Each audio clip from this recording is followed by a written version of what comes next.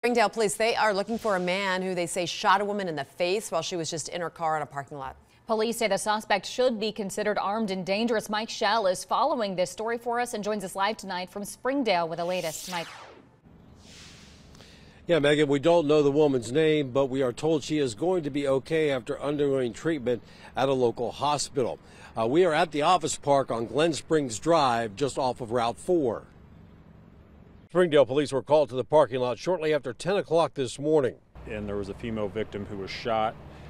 She was sitting in her car at the time, and actually, you can see it was shot through the window. Police say the victim knows the suspect. He is 28 year old Evan Tarrance.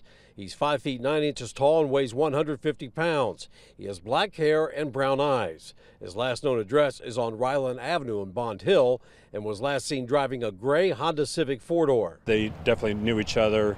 Um, they were in separate cars here in the lot. I don't know what brought them to this parking lot in particular, but uh, some discussion occurred beforehand. A detective with a metal detector searched the grass near the car, and we are told at least one piece of evidence was recovered.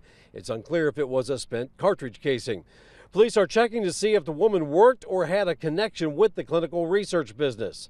Tarrance is charged with felonious assault, and police don't believe anyone else is in danger.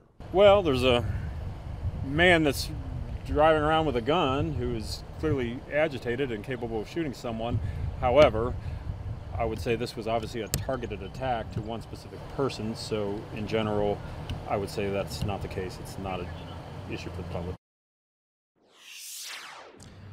Police say the woman was able to communicate with detectives and hospital staff. Still not sure what her relationship is with Evan Tarrance. Uh, police say if you know where he is, call the Springdale Police Department or Crime Stoppers. Reporting live from Springdale, Mike Shell, Fox 19 Now. Thank you, Mike Shell.